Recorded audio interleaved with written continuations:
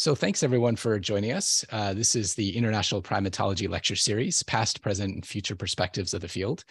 And I am Andrew McIntosh, Associate Professor at Kyoto University's Wildlife Research Center, um, based in Inuyama at the uh, Center for the Evolutionary Origins of Human Behavior. And this seminar series or lecture series is brought to you by the Center for International Collaboration and Advanced Studies in Primatology, which is based at eHub and very much interested in kind of spreading the world in primatology and wildlife science. And in this lecture series, we like to offer origin stories from established primatologists, wildlife scientists, conservationists, behaviorists, you name it, uh, to share that with you all. And this is the 16th lecture in our series. And I'm really excited to be having here Dr. James Anderson uh, to share his own personal uh, primatological promenade with us. So as usual, I'd like to hand it over to Dr. Michael Huffman, my good colleague here, uh, for a more in-depth introduction. Thanks, Andrew. Um, welcome, everyone. Um, as Andrew just said, this is the 16th um, lecture. Time flies. We've had a lot of interesting talks over the last several months. Um, and today is going to be another one of those, I'm sure. Um, it's really a, pleasure to to have Jim talk with us here. He's he's he's been on the, the landscape as far as I've been watching. When I started back in 1979, he was already doing his work. And I remember after my first um, publication, I think it was in 1984, after I became a graduate student, I got this postcard in the mail from this distinguished sounding um, gentleman from Europe asking for a copy of my paper. And I I, I, figured I had made the big times when when someone actually wanted to read what I had to write. Um, and that that continued for many years. Jim was always writing, um, reaching out to people for for their publications. And we were just talking before we started here, and he said he's he among his many collectibles, he's he acquired over 30,000 reprints from scientists around the world in all the diverse areas of his interest. Um, that's that's pretty impressive if if he could get one dollar for each of those, um, that would have been something. But he's generously donated those to, um, I guess it's there. It's it's set up in Oxford at, at Susana Carvalho's um, lab. So that's a very very nice nice thing to have done. Um, Jim has led a very very interesting life. He's he's lived in many places, and the last place that he's ended up, the most recent place that he's ended up is here in Japan, and he joined us at Kyoto University. So we had a very, um, very nice several years in interacting at, at meetings and things, getting to know him a little bit better. And he's he's still here. He's an old old Japanese hand now, so um, he's he's got some stories to tell about that work here as well, no doubt. Um, so without further ado, I'd like to introduce my good friend Jim and he'll tell us about his primatological promenade. Take it away, Jim. Okay, so thank you for that introduction, Mike. Um, and I'd also like to thank Andrew for the organization and Susumu and Cassia as well for helping to make this happen. Um, I'm in the wrong place here, so uh, let me get back to the start. Um, so I would like to thank everyone for the invitation, the kind invitation to, to give this talk. I've never done this kind of overview of my career um, until now. So it's been very interesting deciding what I could consider to be highlights um, and realizing what were some of the lowlights. Um, so I put together really some of the papers that I think are maybe worth sharing with, with people. Um, and most of these papers are not possible, would not have been possible without the help of many people um, and some of the most important people that have contributed in one way or another to my career are listed here. some of you might recognize many of them. Probably one or two of them won't be so familiar, um, but we don't have to worry about that. So let's start. Um, and my interest in primates really emerged when I was studying psychology at the University of Stirling uh, in Scotland. I went to Stirling in 1973. Um, why Stirling? Well, it was near to Glasgow where I grew up. Um, nice little city, um, not far, with its ancient castle and a new university. It was only six years old at the time. Uh, and I went there originally to study English literature. Soon realized that was a big mistake, um, especially when I, I, I, found out that I was going to have to read the entire works of Chaucer uh, in the, my third semester. Um, so I made a plea to the professors at in the psychology department whether I could continue in psychology, having missed one of the semesters. And uh, for some reason, they allowed me to continue. And uh, I'm always grateful to those two professors for that decision. Um, now, one of the interesting features of the psychology department in Stirling was that it had its own primate unit with these animals, stump-tailed macaques. And here's a, a, an old picture of the Stirling campus from back then. And down at the bottom right are student residences. There's a, a bridge going across to the library, teaching uh, classrooms and lecture theatres. And in this block here, you might be able to see there are no windows. That's because uh, on this side, uh, it was the, the, the, primate unit, which housed at one point up to 80 of these stump-tailed macaques. Very successful breeding colony. Um, and uh, here's a more recent aerial picture of the, the, the, university and what was the primate unit. Uh, that block now has windows because the primate unit no longer exists uh, and it's been converted to offices. Um, but you can see that the roof is slightly different. That's because back then part of the roof was open, well, covered with uh, metal grill, um, but it, it, to allow the monkeys to have access to sunlight. So in my third and fourth years, uh, I was able to do some little projects on the stump-tailed macaques there, thanks to the director of the primate unit then, Arnold Chamove. And for my final honours undergraduate project, I decided to do a little study based on this kind of behaviour. Um, ventral ventral contact or huddling. And we knew back then this was not long after some of the uh, later studies by Harlow on the importance of contact comfort uh, in the formation of emotional attachments between mothers and infants. Um, Harlow's work showed that um, contact comfort was more important than milk. And here you can see one of his famous or infamous pictures of a monkey spending its time not on this wire mesh mother that can offer it milk, but although it might go there in order to feed, it will then quickly come back and uh, embrace the, the soft um, towel covered mother. And uh, not only infants do this, but also in some species of macaque monkeys, when monkeys are uh, resting or sleeping, they will also huddle together.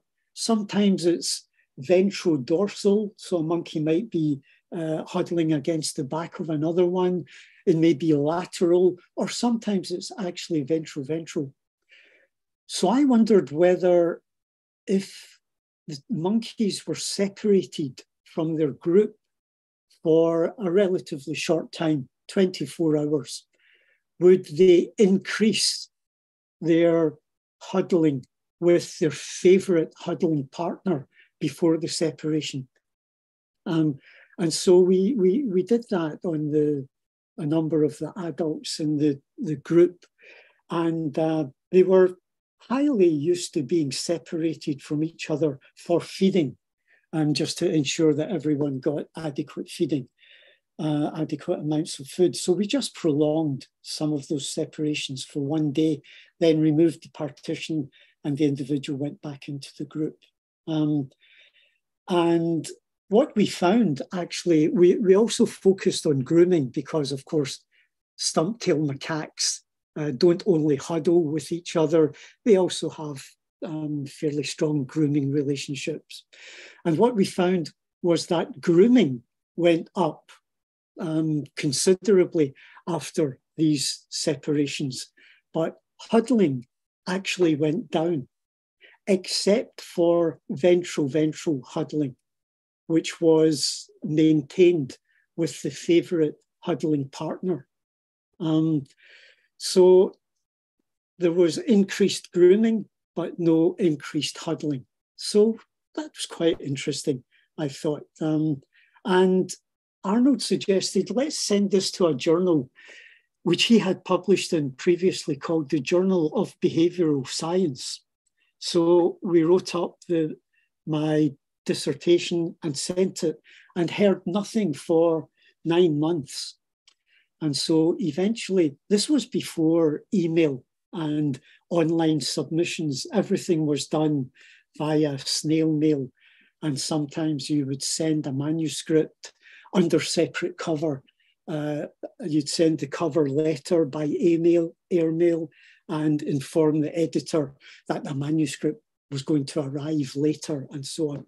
Um, and eventually we got uh, information from the editor saying that, uh, yes, your manuscript was accepted and it's been published. And we changed our name from Journal of Behavioral Science to the South African Journal of Psychology.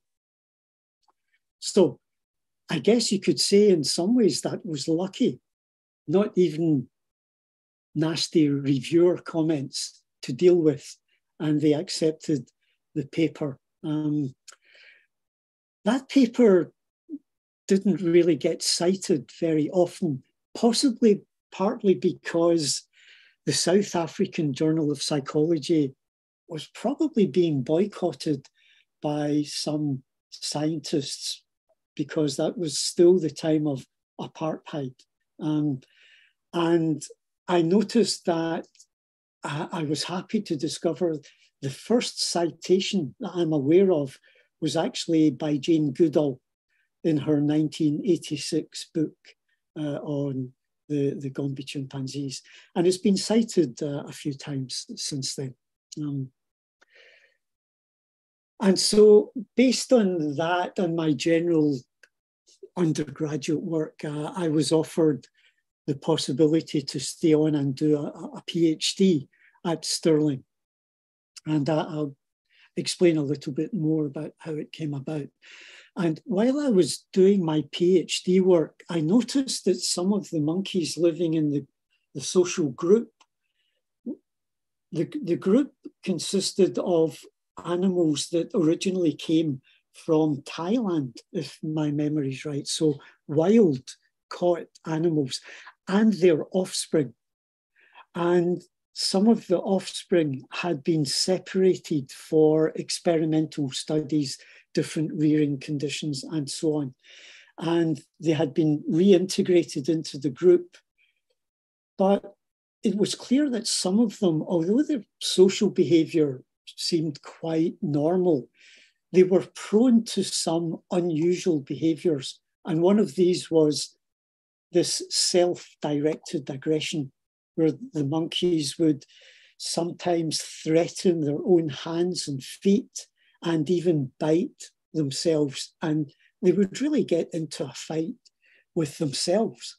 And so I thought, well, this should be studied to, to look at some questions. Um, for example, when do they do it? How frequently do they show self aggression compared to social aggression and so on?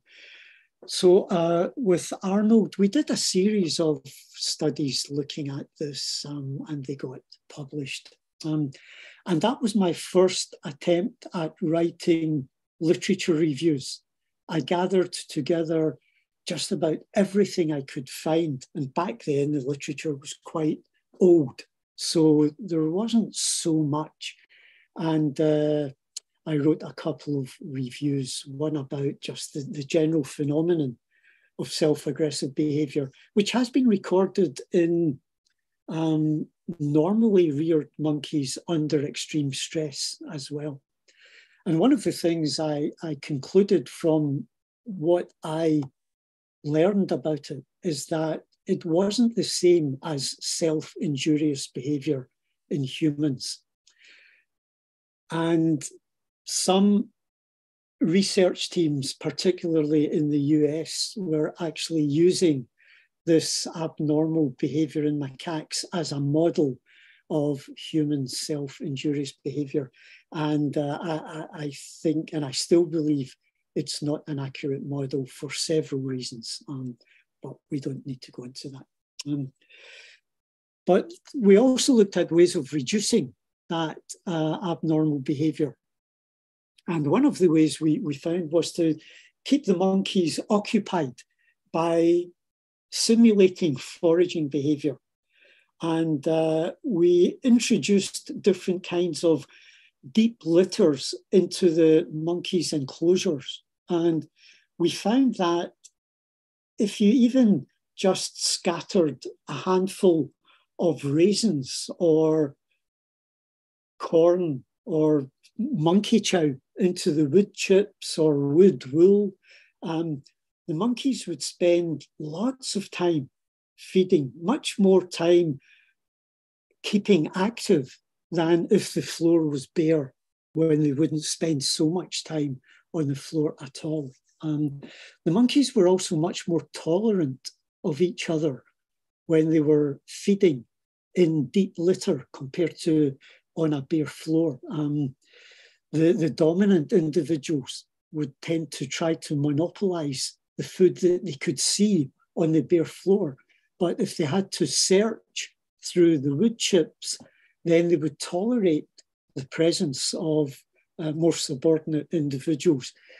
Uh, and as long as these monkeys were foraging, they had less time available to start getting into self aggressive episodes or even social aggressive episodes. And so that was another thing that I did during the time I was doing my PhD research. But one of the deals for getting the, the studentship to continue at Stirling was an offer from Bill McGrew to spend a six month period in his newly established field site in Senegal. And um, so I was fortunate enough to, to join the team there for six months in 1977, just before I was going to start on my PhD research uh, on the captive monkeys. So I went out and uh, made uh, joined the, the, the observations on chimpanzees. This isn't a chimp that I saw. That's taken from a, a study by a team at Purdue University using camera traps um, more recently than, than uh, the, the Stirling project. Also, uh, some observations on baboons, noting the occurrence of patas monkeys. This is the best picture I ever took of a patas monkey. They're extremely elusive. And uh, Mike Harrison was also doing his PhD on the, the green monkeys around camp. Um, Niokolo-Koba Park, extremely seasonal, hot uh, in the, the dry season, wet and green in the, the, the rainy season. This is the camp conditions. Each of us lived in one of these huts and we often got soaked. Um, I went back to Senegal for a couple of months in 1979 And Bill suggested that I took over from a project that he had started. And that involved looking at the baboons in one of their sleeping trees that they used sometimes, not every night. And in fact, here's a group of baboons walking past my hut, uh, having come down from their sleeping tree. And uh, so, what it involved was getting up very early before daybreak in the morning, sitting at the edge of this cliff and looking up into the tree and noting as soon as you could make out the baboons. Often it was their tails hanging down that gave the first indication. Um, and noting group size, the number of adult males, the huddle sizes, and so on. And this went on during wet season into the dry season, and we got quite a lot of interesting background information. And uh, the study is still cited um, these days. Um, we feel it deserves more attention than it, than it got, but uh, it was certainly an interesting study to do. Um, I'm not sure I would be so confident now about sitting with my back to the plateau where there might be a hungry lion or leopard around that hadn't found anything to eat that night. Um, but back then, uh, we didn't give it really a, a second thought. Um, while preparing the write up for that paper, I collected hundreds of accounts of sleep related behavior in primates. And that led to me writing another review paper. And this is probably, may well be my most cited paper of everything that I've done. And I sent it, again, this is another stroke of luck. I sent it for some reason, I don't remember what, to advances in the study of behavior. And it got accepted with minimal changes. Um, and I also got a nice check from the publisher for writing it. So, one piece of advice I would give to students, uh, especially when you're preparing your PhD, you will probably be really up to date and have knowledge of the literature. So, consider writing reviews. They get well cited, and it's your chance to show how uh, how uh, much you're uh, to show off your knowledge about the, the current state of the literature.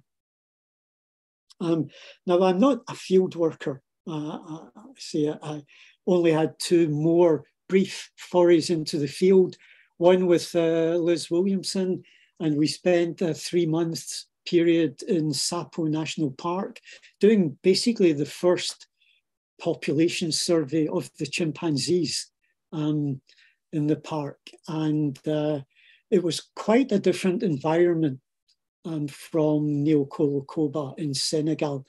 And in fact, we didn't see much sunlight uh, in our time in the forest. As you can see from the colour uh, of me here, this is me with a suntan, believe it or not. Um, and we didn't see much of the chimpanzees either, but we did see lots of their uh, lots of their signs, nests. We used nest counts to come up with population density estimates. And there was lots of uh, washing and sieving through chimpanzee droppings. So we discovered uh, on the basis of the contents of their feces that they were also eating monkeys.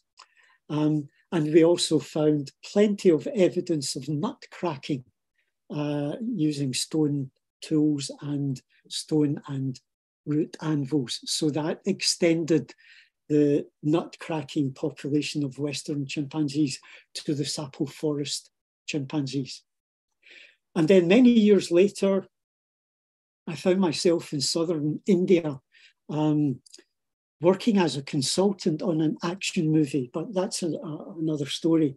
Um, and some of some of the heroes of that movie were members of a group of bonnet macaques that inhabited the mountainside and the mountaintop.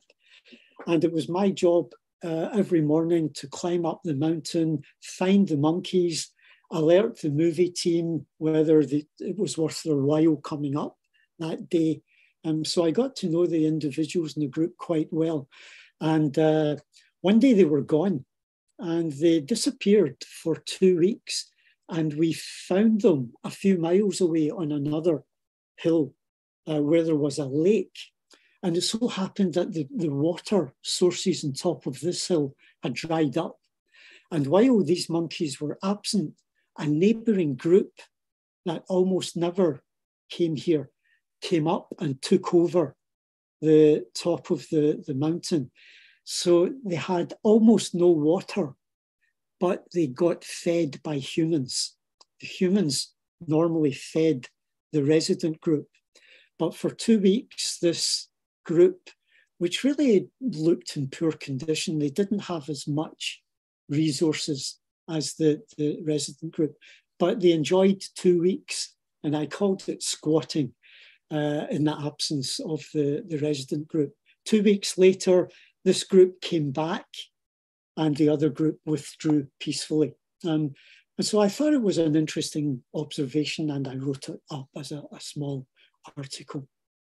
Um, but that was in the late 90s. Uh, I should say that I'm jumping back and forward in time here and from location to location. Um, a little bit like Kurt Vonnegut's uh, character in Slaughterhouse Five, but uh, the, hopefully there's a general theme going through it. So anyway, back in Stirling, um, I did eventually complete my PhD thesis uh, after, I think I took four years in all with the breaks for uh, uh, the Senegal field work. And my thesis was about basically self-recognition. And I believed that Gordon Gallup was wrong in 1970 when he stated that uh, perhaps self-recognition was only to be found in humans and our nearest primate neighbours, the great apes. I just didn't believe it. I thought those stumptail macaques in Stirling are pretty smart. I'm going to get them to recognize themselves. So I tried many kinds of interventions, rearing monkeys with mirrors from shortly after birth, um, giving them group access and so on. Finally, my conclusion was that there was no evidence that any of them could recognize themselves. So that gave rise to a series of papers, another couple of review papers based on my literature review. So again, I recommend it. Both of these have been well cited. This is a paper on human infants. Now, at that time, I had done no work personally on human infants, but I'd read enough and I knew that there was no real review paper uh, at the time. So I, I ran one up and got it uh, accepted. Um, and shortly after I finished my PhD, I received a phone call from France from uh, a PhD student called Francoise Bayard, who had come to visit us for a few months in the Stirling primate unit. And she asked if I would be interested in a six month position in Strasbourg in France to uh, teach students in psychology and to do some research at the newly formed uh, Centre de Primatologie, the primate center of the University Louis Pasteur. It's now called University of Strasbourg um, in, uh, in Strasbourg. So I thought, well, I've got nothing else planned. So I decided to go over to France for six months. Strasbourg, beautiful city in eastern France. The Primate Center is a remarkable place in a converted old military fort built in the 1860s by the German military when Germany was part, uh, when, when Alsace, the region of Strasbourg, uh, was part of Germany. Um, part of the fort, when it became French again uh, after the Second World War, it was used to stock munitions, and part of it exploded in an accident in, in 1953. And so the military abandoned it and they gave it to the University Louis Pasteur. And uh, one of the uses was uh, thanks to Nicola Herrenschmidt negotiating that it be used as a, a primate uh, research centre. So I went over there for what should have been six months, and uh, things seemed to go well in terms of teaching.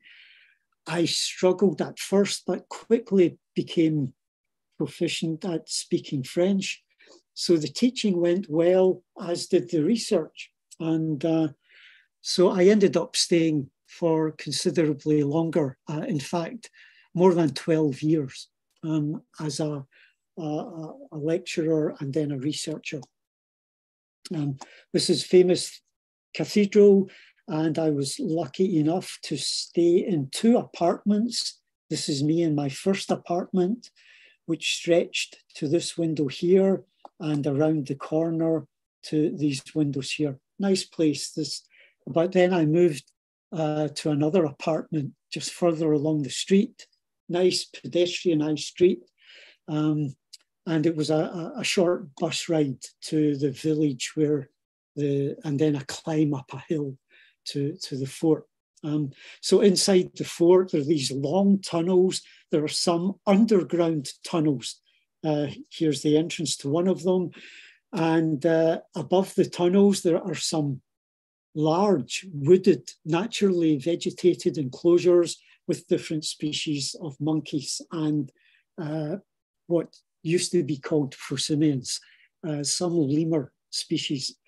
And I was lucky enough in the 12 years there to study, carry out studies on all of the species that you can see here. You probably recognize most of them, uh, pigtail macaques, stumptail macaques, Tonkean macaques, uh, longtail and rhesus macaques. Uh, black lemurs, the males are black, females are uh, brown color so-called brown lemurs and Lemur catta. And uh, in the early years in Strasbourg, again with Françoise, uh, who was completing her PhD, we did a couple of studies on mirror image reactions, basically just adding to uh, the work that, that was accumulating in laboratories uh, in, in several places. Uh, again failing to failing to show any signs of self-recognition.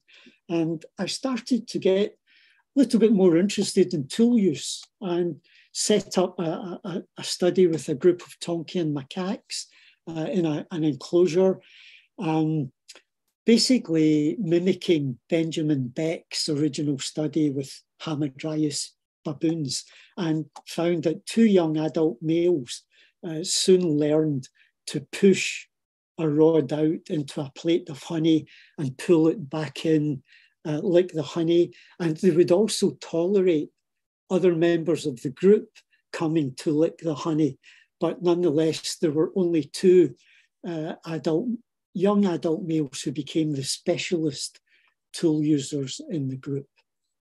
Um, Capuchin monkeys, of course, are renowned for their tool use. And in the late 80s, interest in their tool using abilities was really uh, expanding in laboratories, um, not yet in the wild, but certainly in captive capuchins uh, in United States and in Europe.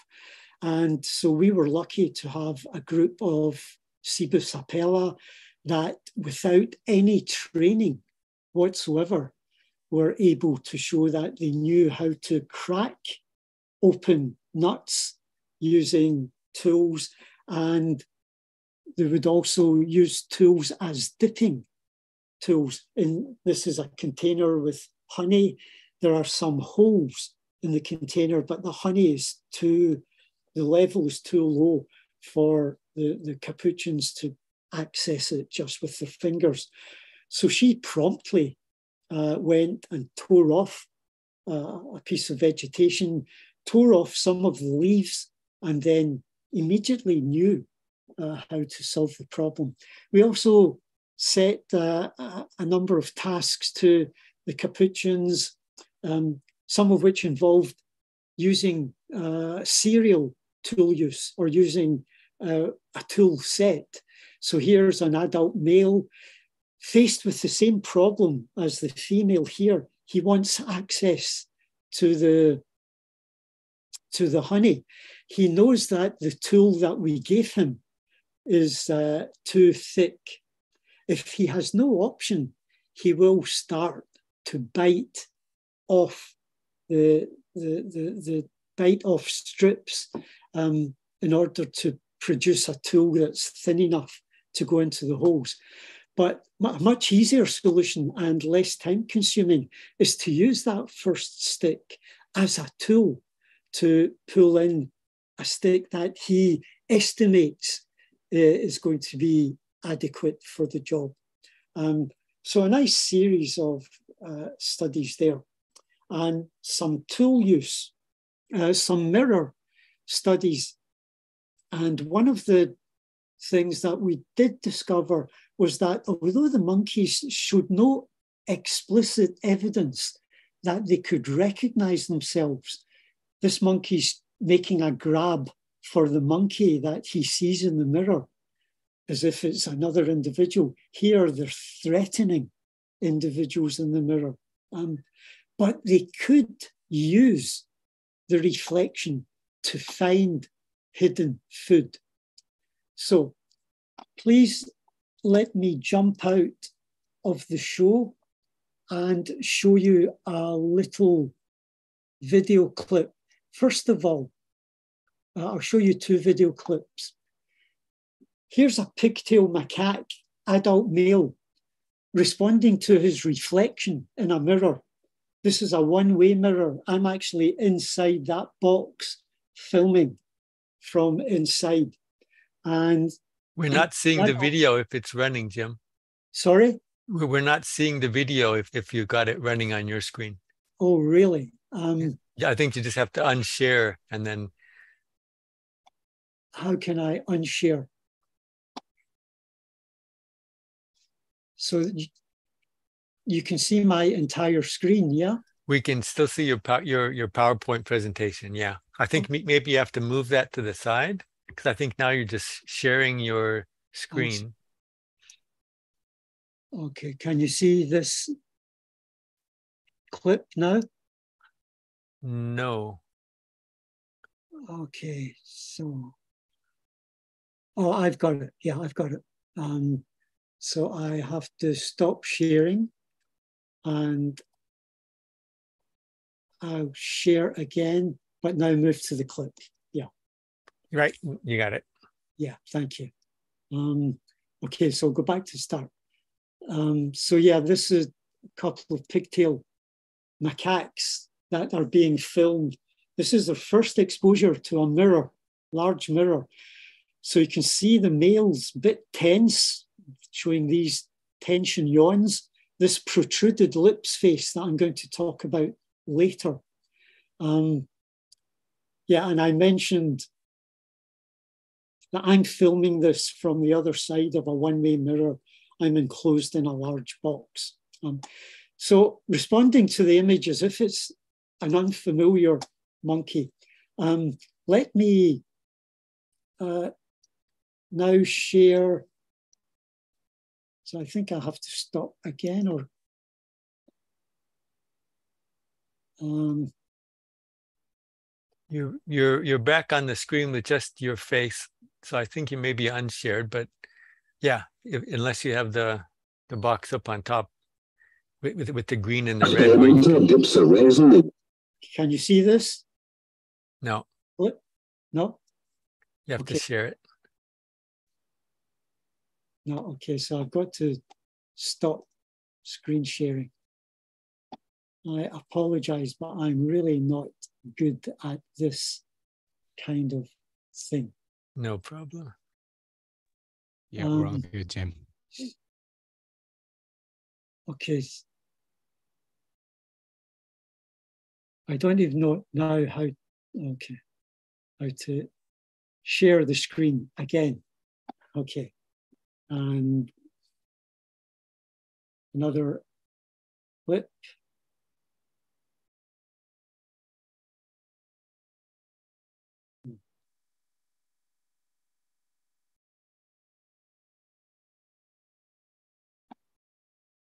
Okay, you have that? Yep, got it. Okay, okay. Sorry about that. Um, okay, so this is one of the discoveries that I made about mirror image reactions. Here you can see this monkey using a mirror. It can see this target area. It can't see down here directly, but it can look in this mirror. Now I'm sticking a raisin onto this target. The monkey looks in the mirror, locates the raisin and directs his wrist. So another thing, so I'm making some false movements so the monkey just doesn't go to where my hand was.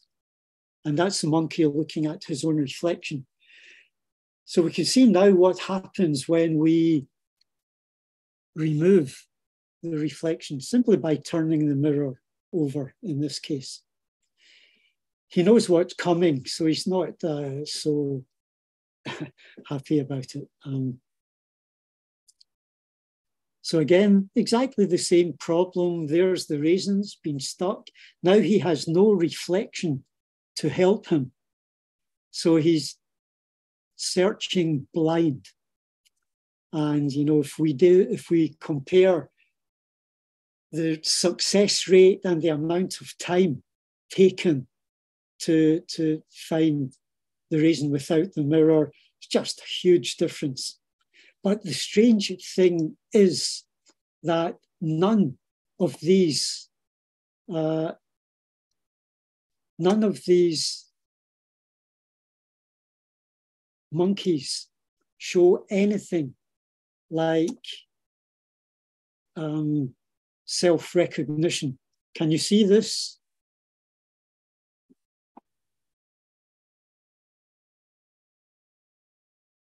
As Zita. Do you have this? No? Yeah, it's a, it's a small screen though. You have to select, you have to screen share and then select that to to yeah, share. Okay.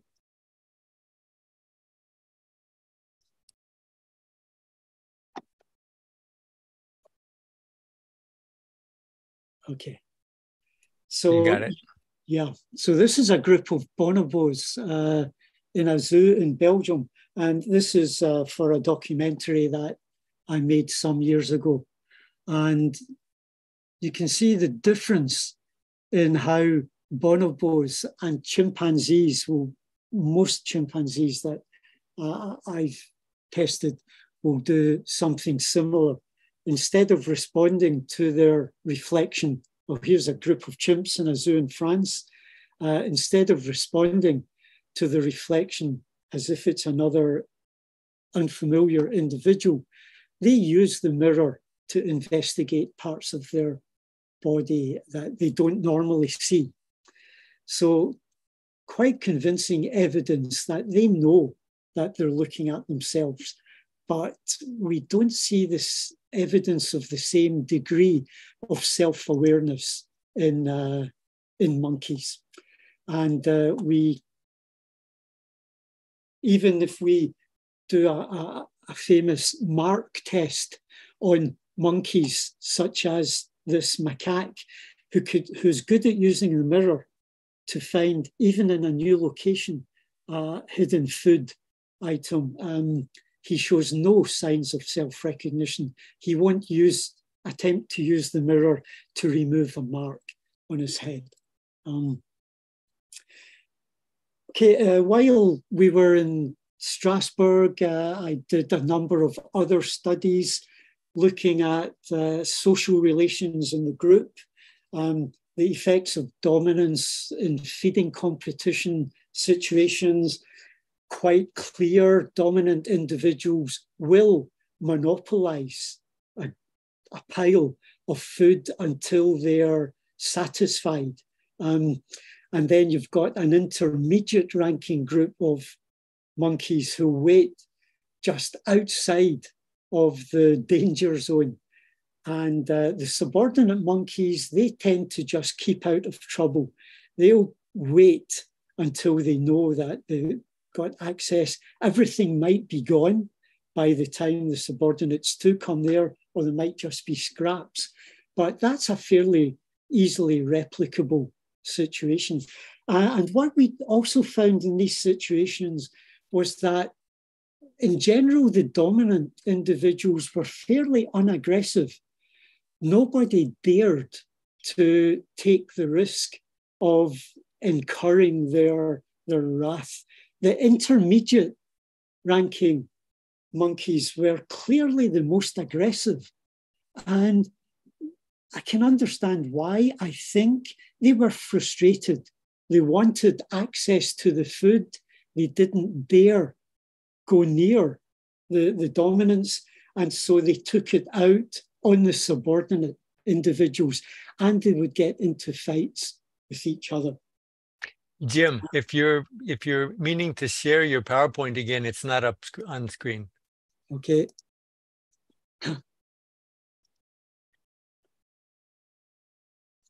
okay. So okay, you. Now? Okay. Um, so that that basically just uh, illustrates what I've been saying. Dominance, monopolize the attractive food source. The intermediates are frustrated and therefore aggressive with each other and with more subordinate individuals. Um, and we, we found that in several studies. Um, but in one of the interesting studies with a, an undergraduate uh, student sent from, who came over from Stirling, uh, is we actually manipulated the food, attractive food, to make it potentially a source of danger. You can probably just make out here a rubber snake on top of the pile of food. And there was a, a, a translucent fishing line, uh, which allowed us to make the snake move if ever any of the monkeys approached it. Uh, and that basically changed things quite remarkably. Now, here is the dominant individual in the group enjoying nice pile of food. Here is the dominant individual here with a pile of bananas with a snake on top of it. Increase that kind of risk. The dominants are sometimes among the most conservative members of the group. But some more subordinate individuals will see that the subordinates are holding back and they may well take the risk of going for this food which they might otherwise not be able to access.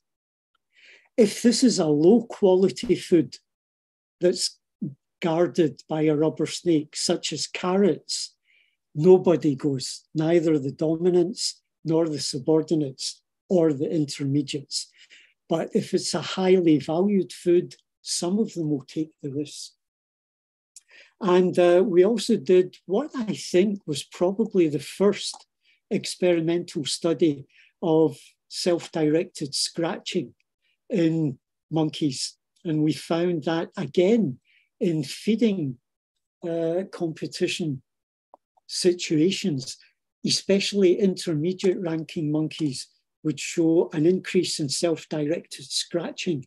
And here you can see the, the, uh, the percentage of scratching episodes directed to different parts of the body uh, and how that compares with self-directed grooming.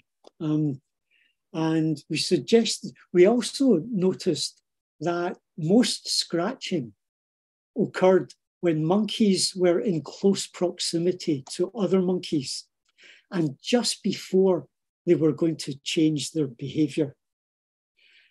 And our suggestion was that it could actually be a, a communicative signal to warn or to alert the animal in proximity that I'm going to change behavior to avoid any misunderstanding of a sudden change in behavior.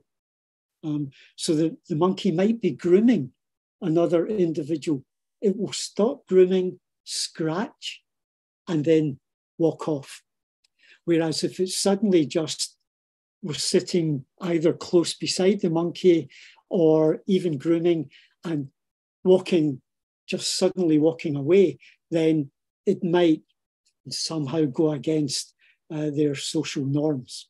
Um, and now scratching is a frequently used measure of potential anxiety uh, in, in, in groups. And I like to think that this was there uh, at the start of the whole thing. And that got me thinking well, if monkeys can scratch uh, as a signal, if, if that natural behavior has been co opted into their communicative repertoire, what about other behaviors? And of course, yawning is frequently used, and it's used in what used to be called old world monkeys, in particular the adult males, as a kind of threat signal. In tense situations, males might get into a kind of yawning competition. Um, so we did a couple of studies. The first one on a couple of uh, adult male pigtail macaques, looking at whether their rate of yawning could be brought under control by rewarding them with food. So every time they produced a yawn, they would receive uh, a food reward. And we did, the, we tried the same with another behavior, scratching. Um, they sometimes scratch with their, their leg and foot like a dog, but most of their natural scratching is actually with their hands. Um, but and we also tried that facial expression you saw being directed towards the mirror, the protruded lips face. And basically, I won't go into details. The answer was yes. They would yawn extremely frequently if the yawns were followed by a food reward. And if we stopped rewarding them, it would quickly go down to the baseline level of a couple of times per 30 minutes. The same goes for uh, scratching. We couldn't get them to uh, produce the protruded lips face for yawning. If somebody wants to know why, we can discuss it later, but I'm aware that we have to get through time. We did a couple of studies. We also did a study of uh, uh, operant conditioning of scratching in lemurs unlike monkeys, most of their scratching is uh, naturally with their, their leg um, and foot, but uh, easily brought under control. And you can even get them to change. So if they, they previously scratched with the right foot, the next scratch must be with the left foot, and they can do it. Um, and with the monkeys, you can also get them to scratch. Their next scratch must be a region of the body that they didn't scratch previously, which is interesting in terms of how they can memorize the different self directed acts to body regions. Um, but that's another topic. Still in Strasbourg, we did some other studies. We can't go into everything there. This was an interesting one. We had a few very old stump-tailed macaques the first species I studied in Stirling, uh, and some young adults. And um, we started studying the effects of aging uh, on memory and learning in macaques. And we found one of the interesting studies was that um, the old monkeys were slower to learn a simple visual discrimination. Food is always hidden under this item, not the other one, uh, compared to young monkeys. Then, once they've finally mastered it, and we suddenly change the rule. Now the food is only under here. Well, the classic finding is that the first reversal or two may be more difficult than the original learning for young adults too. And that's exactly what we found. And it was the same for the old monkeys. Now, many research teams that are interested in the effects of aging on cognition, they find the uh, original difficulty with the old monkeys and they stop.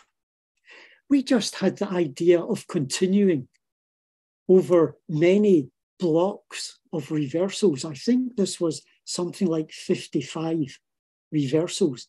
And what we found was that eventually the old monkeys could switch from one rule to the other just as effectively as uh, the young monkeys. So the take home message there is yeah, us old guys can be slow at learning, but if we keep practicing, then in some domains we can uh, we can match the youngsters. Um, one of my PhD students, Elizabeth Ludes in, in France, continued working on deep litters uh, and found that uh, the capuchin monkeys she studied had preferences for different activities in different kinds of litter. Um, they preferred foraging in wood chips. The youngsters preferred playing in wood wool, and the monkeys preferred covering their bodies in peat, um, kind of anointing themselves uh, because of the acidic qualities of the peat. Um, other enrichment studies that I, I instigated in France, an interesting one was using the monkeys, macaques' natural proclivity for swimming. And we did a couple of interesting studies there on the emergence of specialists in a group of an underwater foraging task, releasing the bananas that float to the surface, and then the other individuals can come uh, and, and take them. But only two individuals in a group of 17 actually would learn how to do the task. But most of the individuals, once the box was empty, they all enjoyed swimming, playing with each other, pushing each other into the water, uh, and so on. And they would spend hours doing that. A um, couple of side uh, effects at uh, Stirling with Jean-Jacques Roeder, we uh, we actually organized and edited the first ever collection of French primatology chapters. Um, and as far as I know, it hasn't been there, there's no equivalent even today. And uh, we also uh, took on the task of organizing uh, in 1992 the 14th IPS Congress. And that was an enormous task, which basically uh, Nicola Herrenschmidt, the director of the Primate Centre, uh, here's Nicola feeding one of the young stumptails. Um, Jean-Jacques, Nicola, myself, Bernard Thierry, and two secretaries organised everything. Um, and it was really a, a job that I, I, wouldn't like to, to repeat. And then most of the following year was taken up organising the publication of the proceedings. My last project in uh, Strasbourg before moving back to Stirling, again, um, I was interested in the amount of attention uh, monkeys would pay to other individuals' gaze. And uh, this arose from a, a, reviewer comment on one of my earlier studies on object choice. The reviewer suggested, was I sure that the monkeys weren't being cued by something I might be doing? Uh, and so I thought, well, let's turn that around and ask whether monkeys will, if I actually try to help them uh, choose the correct object, can they do it? So I used an object choice task with the first one was with three capuchin monkeys, kind of basic delayed response task. The monkey, here the monkey can see that I place the food under this object and nothing under the other object. Um, this is done actually while the screen is down. So I've hidden the object, the screen goes up, and two basic conditions. Baseline, I'm staring straight ahead, giving no obvious cue to the monkey. Or I can explicitly gaze at the baited container. So the question is will the monkeys learn to use my gaze as a cue? Here are the results for three monkeys. Of course, chance choice is 50%. No difference. The monkeys don't use gaze spontaneously as a cue. So I thought, well, okay, let's make it easier. I'll, you can't get much more explicit than gazing and pointing. Monkeys had no problem with that. Now, I'm not saying that the monkeys understand pointing gestures. you can see that clearly the cue here is very close to the object. And monkeys do pay attention to people's hands. Um, but nonetheless, the pointing gesture here is associated with gaze. So then we can ask, well, let's go back to gaze. Will the monkey now remember that the pointing gesture was associated with gaze? The answer was no. Monkeys still don't use gaze. And in fact, if we remove the gaze from the gaze and point gesture, monkeys are happy to use the point uh, without gaze. That was replicated also in a study in Stirling with rhesus monkeys, and it's been replicated in many labs now all over uh, in, in different labs, different continents. Um, just before I left Strasbourg, Shoji Itakura from Japan came and trained up a, a juvenile capuchin monkey by basically putting his eyes and head as close as his hand was to the, the, the correct object.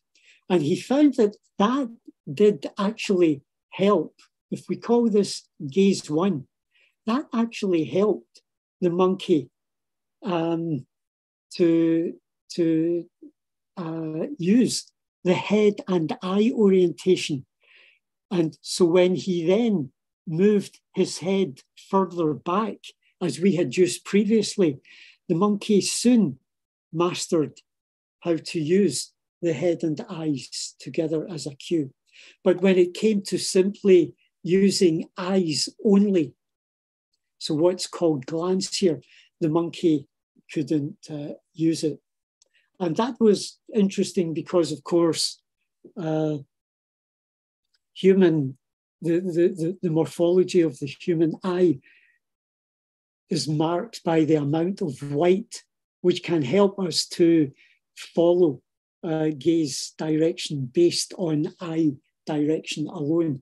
Most non human primates don't have so much white uh, sclera in the eyes.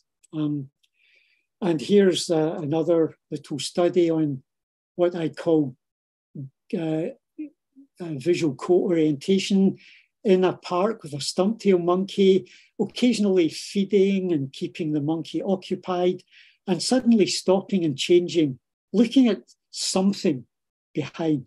And the monkey um, uh, changes to co orient with me. And then she looks back to see what I'm doing. Try the same thing with lemurs.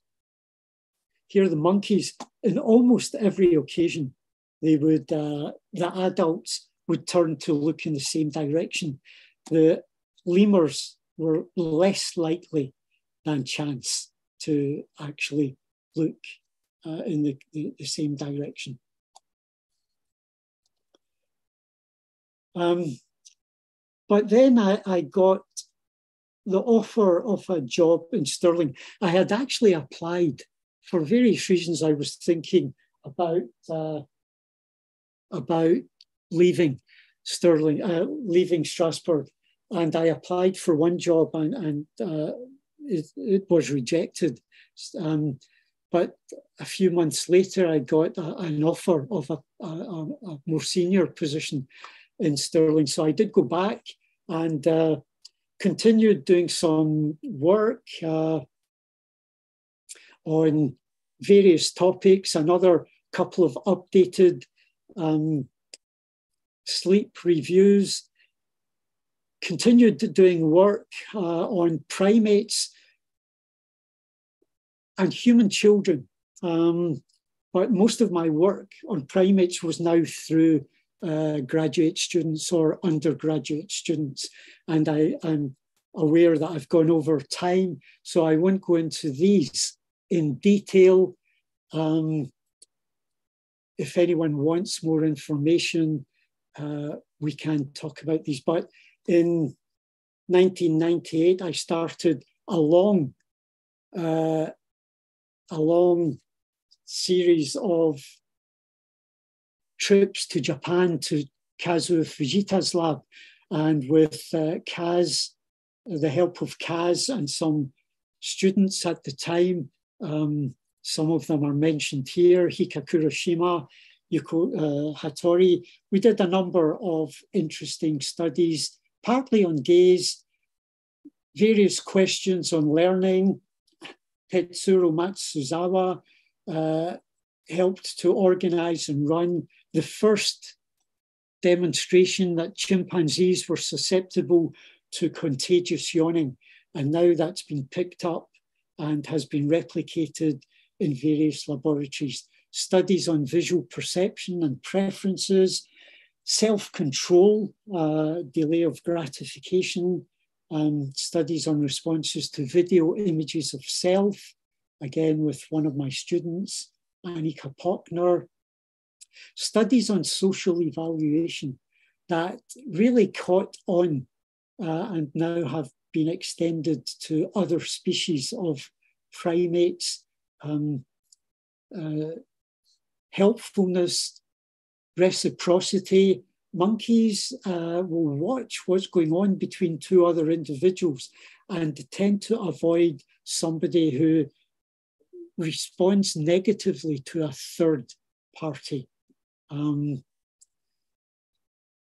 and Tetsuro Matsuzawa was also generous in making his field site available to two of my Stirling students. And uh, one of them, uh, with whom I've published, Kim Hockings, did some very interesting work uh, uh that we can mention. Since I came back to Kyoto permanently in 2014, we've just continued some other studies uh, on other uh, species as well. In my capacity as a, a, vice editor of the journal Primates, I can write kind of review papers on work that I've done. With Hika Kuroshima, we recently published uh, a book. Basically, it's a tribute to Kazuo Fujita's laboratory here and uh, the authors are mostly ex students of Kaz or colleagues who have been influenced in one way or another by some of Kaz's work. Uh, recently, I published with Bill McGrew and a, a French photographer who has set up camera traps and uh, video traps in Gabon and we published one interesting paper on chimpanzees. Uh, also have some papers uh, planned uh, based on the hundreds of video clips that Xavier has made. Uh, my interest in comparative thanatology uh, continues and uh, recently completed a recent study thanks to Satoshi um, Hirata and uh, handling QN uh, at the, the, the, Kumamoto site. And uh, final advice to students, accept review requests when they come in. We editors find it difficult sometimes to find reviewers because people say they're too busy. What they mean is that they're too busy writing their own papers. Um, this is a list of the journals that I've reviewed papers for. I stopped counting uh, after 500. Um, but I would finish with what I call the Zen approach. Every paper that you submit will create work for at least two people reading your paper, deciding whether it's appropriate for the journal, deciding whether it should be sent to reviewers, and the reviewers or referees will then have to devote time to doing it. So you're producing work for two or three other people. So for every paper you review, then I would uh, recommend that you consider accepting to return the favour. Oops, okay. So I'll finish there. I've gone over time. Thank you so much for uh, your attention